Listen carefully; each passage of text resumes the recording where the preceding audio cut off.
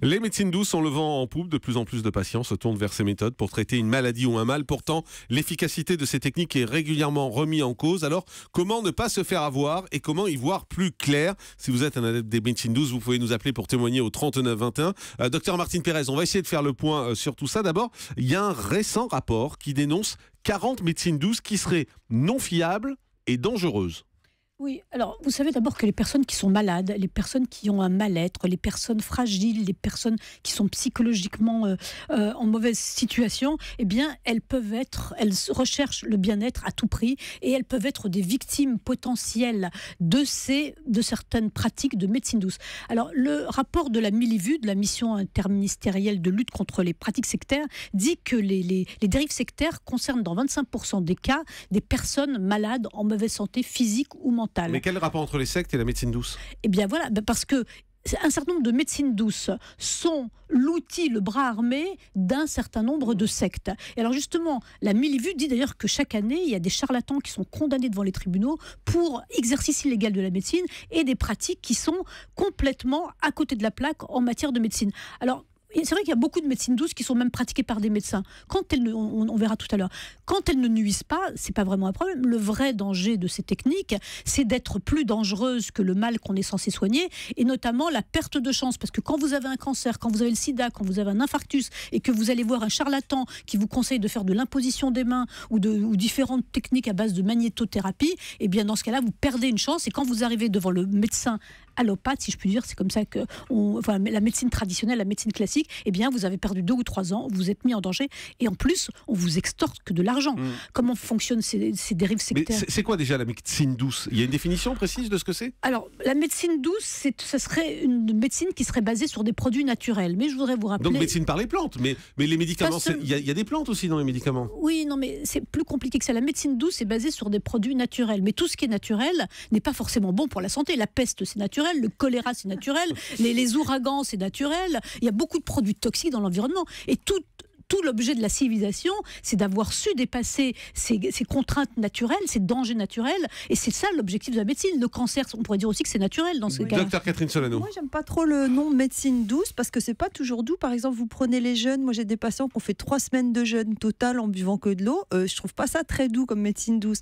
Donc, je préfère utiliser le terme médecine complémentaire parce que c'est la place qu'elle devrait avoir, c'est-à-dire en complément de la médecine. Parce que c'est vrai que quelqu'un qui a un cancer, qui est en chimiothérapie, mmh. bah, souvent, il y a des effets indésirables si on fait de l'homéopathie ou de l'acupuncture pour s'aider, pourquoi pas? En revanche, si on dit aux gens non, moi je vais vous traiter votre cancer du sein par euh, les médecines complémentaires ou parallèles, ça va plus. Mais médecine douce, ça veut dire quoi? Ça veut dire que les médecines par les plantes, c'est de la médecine douce, par exemple? je, vais vous donner par exemple quelques exemples de, de, de, médecine douce qui ont été dénoncés par la, la Mivilude. Alors on parle du biomagnétisme qui prétend débarrasser les patients des énergies usées, de l'euleutéropédie qui impose aux enfants de ne manger cru, de la fasciathérapie, thérapie manuelle qui traite le patient dans sa globalité, la méthode amère qui vise à trouver l'origine psychique du cancer et préconise d'arrêter les traitements conventionnels. Donc vous voyez, il y a toute une série de médecines douces faites par des charlatans qui ne sont pas médecins.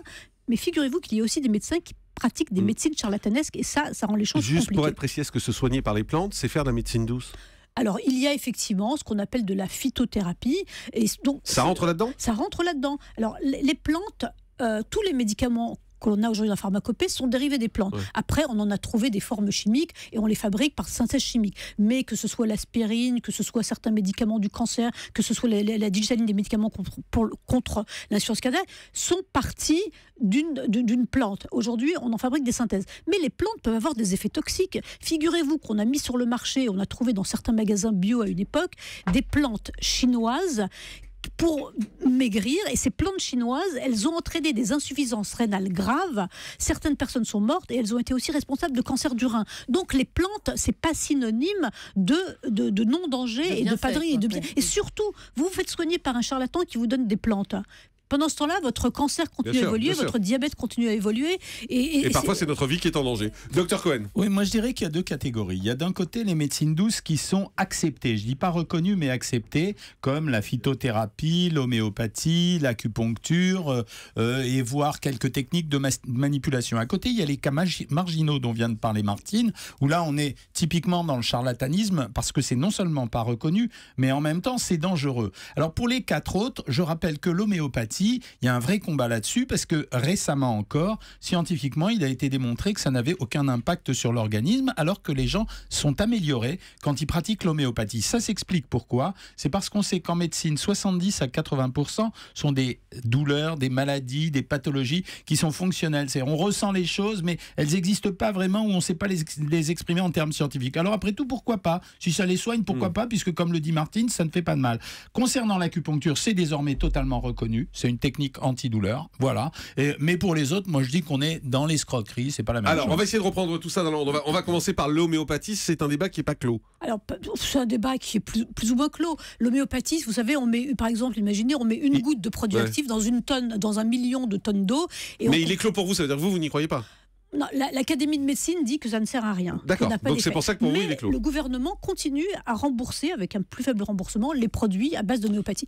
Alors, moi, les médecins homéopathes sont, sont des médecins, les gens qui pratiquent ça en général, ils ne sont pas dangereux.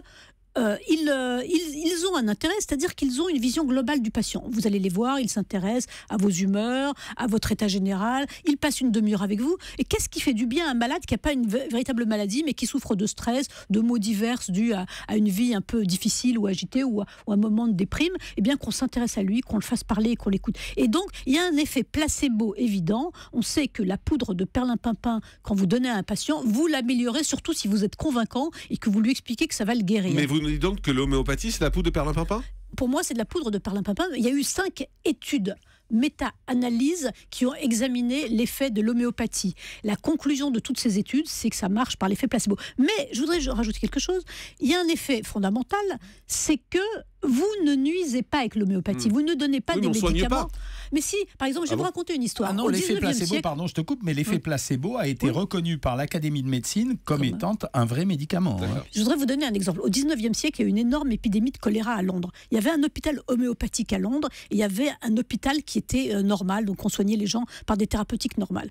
Dans l'hôpital normal, on faisait des saignées aux gens. Dans l'hôpital homéopathique, on leur donnait des pilules euh, inefficaces mais non, non nuisibles. Eh bien, dans l'hôpital homéopathique, les malades ont guéri trois fois plus souvent parce que les saignées pour des malades qui se déshydratent, c'est une catastrophe. Mmh. Donc, vous voyez, l'homéopathie ne, ne, fait pas de mal, mais le danger, effectivement, il ne faut pas soigner des gens qui ont le cancer. Mais juste parce que j'entends d'ici le standard avec les gens qui vont nous appeler en disant mais moi je me soigne par l'homéopathie, ça marche effectivement. Vous allez mettre des gens en colère en disant c'est la poudre de perlimpinpin. Oui, je voudrais juste, docteur Cohen, pour vous c'est la poudre de perlimpinpin aussi? Pour moi, l'homéopathie n'a pas d'efficacité scientifique sur euh, le, malade et le sang du malade. Docteur Solano. Et, et, pour moi, quand on est médecin, on ne doit pas croire ou ne pas croire à l'homéopathie. On doit se demander est-ce qu'il y a des preuves? il n'y a pas de preuves scientifiques, mais, mais par contre, moi j'en utilise de l'homéopathie tout simplement pour l'effet placebo et je me dis ça fera pas de mal. Alors, l'autre thème également dans les médecines, nous, c'est l'acupuncture. Ça, ça marche. Ah, bah, attendez, l'acupuncture, ça fait 4000 ans que ça existe. Euh, en Chine, on l'a utilisé très longtemps parce que notamment sous la Chine communiste, on n'avait pas grand-chose à se mettre sous la dent. Alors, l'acupuncture, c'est très différent de l'homéopathie. Vous stimulez un petit point au niveau du corps et, et les Chinois ont défini une cartographie absolument formidable du corps humain et on stimule certains influx nerveux. Et il y a une chercheuse américaine il y a quelques années qui a montré qu'en stimulant ces influx nerveux, on stimulait les neuromédiateurs antidouleurs.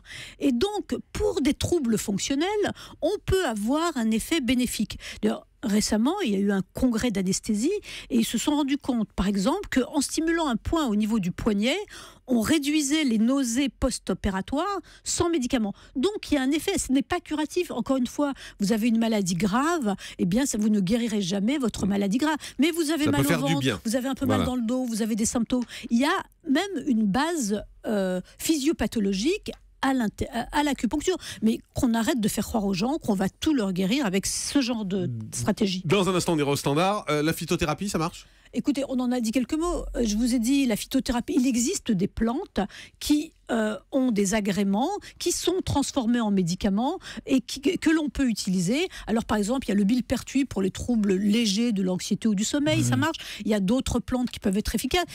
Mais encore une fois, euh, si vous avez un phytothérapeute qui s'intéresse à vous, qui vous parle, qui vous examine longuement, qui vous connaît, qui vous qui parle la parole, il, il peut vous aider. Il peut vraiment vous aider.